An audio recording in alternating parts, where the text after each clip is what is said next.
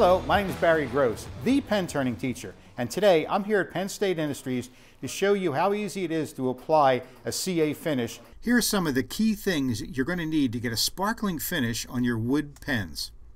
First off is your double-sided acrylic finishing pads that are specifically designed to polish acrylics. Next, you're going to need an accelerator spray. Then medium CA glue, non-stick bushings, and a one-step polish because once you apply a CA finish, it is an acrylic pen at that point.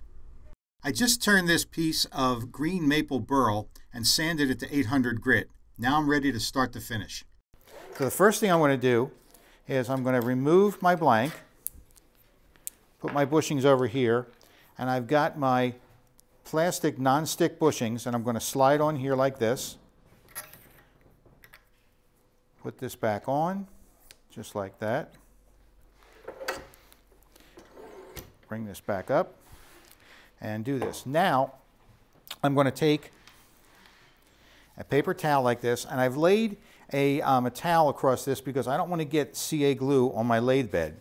And I have a paper towel just like this and um, all these years you've been saving all these little parts bags. Now you know what to do with them. Stick your finger in it like that and use it. And that way you're not going to get CA glue all over your fingers. All right. I'm going to turn the lathe speed down on this. It should be around 500 in that range. Okay. And now I'm going to take some medium CA glue just like this and put a big drop just like this on here and then I'm going to start on one side and go right over here to the other side. Just nice and easy back and forth, just like this.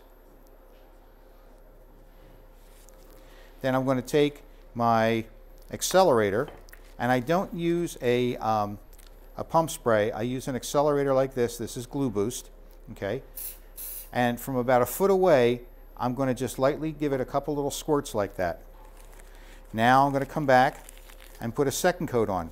Now, you don't need to constantly work this, um, you know, use thin CA glue first and then go back to medium on top of it, all that. I just start and I start with medium right away and I use about six coats just like this, six light coats, just like that.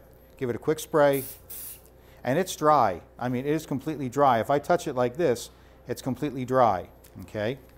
I'll take a pair of scissors like and I'll cut off the end like that. And so I have a clean piece of paper towel. Put another drop on here like this.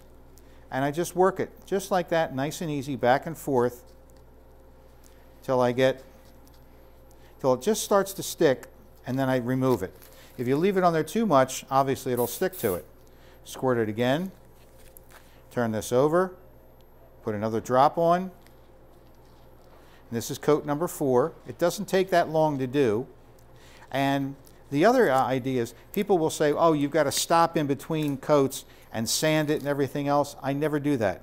We just put on six nice healthy coats like this.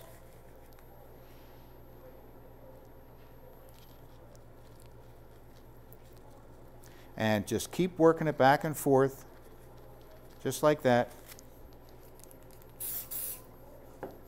There's five, and this is coat number six.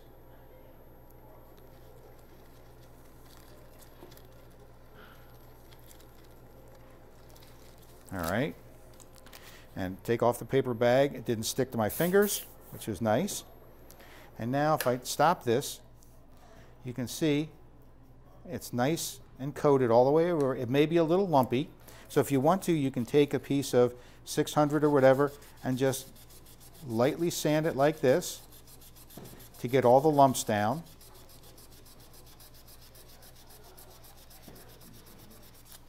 Okay, and now we're going to wet sand it. I use these pads specifically, okay?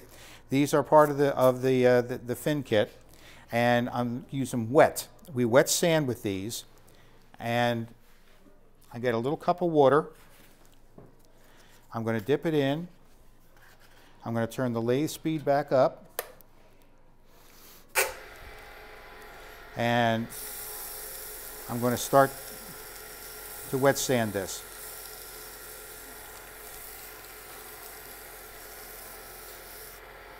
Wipe that off.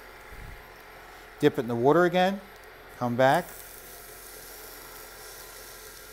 and this is the second one. The first one is 600 grit, this is 800 grit. And these pads are specifically designed for acrylics. And what is a CA finish is an acrylic. These are the same pads they polish helicopter windshields with. If it's good enough for a helicopter windshield, it's good enough for us. So this is 1500. And I want to get a nice little slurry on here. That's that white stuff you see right there. Wipe this off, wipe the pad off, dip it in again. This is 2400. And each time they get more success, or you know, as it succeeds up the ladder here with grits, it gets finer and finer the scratches. This is 2400. Or that was 2400. This is 4000. And the next one's going to be 12,000. Wipe this off. Come back. Do my 12,000 pad. So how long has this taken us? About a minute and a half? That's how quick and easy this is. When I'm finished with this, I'm going to take a little bit of one-step polish, shake this up real good, this stuff is really nice. It gets rid of the little swirl marks that you can't really see with your naked eye, and it does a nice job. It sets it up really well for when we go to buff this. So all I'm going to do is just take a tiny little bit on my finger like this, okay, put, turn the lathe speed back on. It's about 2,000 RPM. Put this on, and then with a dry spot of the towel, I'm just going to whip through this, just like that. And this thing is really shining. It really is, does a nice job with this stuff. So I'm going to take this out now, and you can see how nice this looks. But when you buff things, it takes it to the next level. It, um, I usually use a 10x loupe at home to look at things. And I'm going to put this in here, bring up my tailstock, and please, when you use these, make sure you have tailstock support. Don't just plug this in and turn it on because it will, you know, fly out of there. This wheel is a cotton muslin or cotton muslin wheel. I'm going to put a little bit of rouge on it, and this wheel gets no rouge.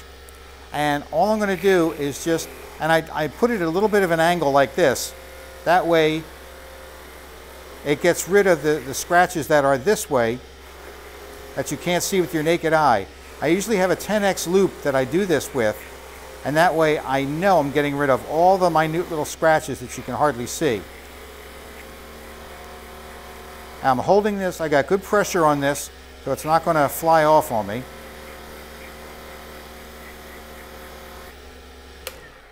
Look at the finish on this. This is incredible. It is a beautiful piece of burl. There's not a single scratch on it, and it's a perfect finish.